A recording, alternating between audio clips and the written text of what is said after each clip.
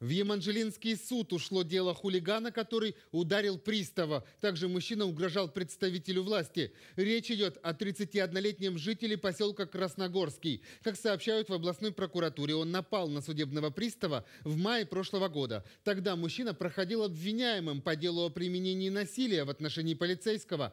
В ходе процесса обвиняемый грубо нарушал порядок, не реагировал на замечания судьи, а потом просто встал и вышел из зала заседаний. Пристав Пристав попытался его остановить, но обвиняемый ударил его по руке, а потом стал угрожать, что продолжит бить. Теперь ему грозит наказание не только за конфликт с полицейским, но и драку с судебным приставом.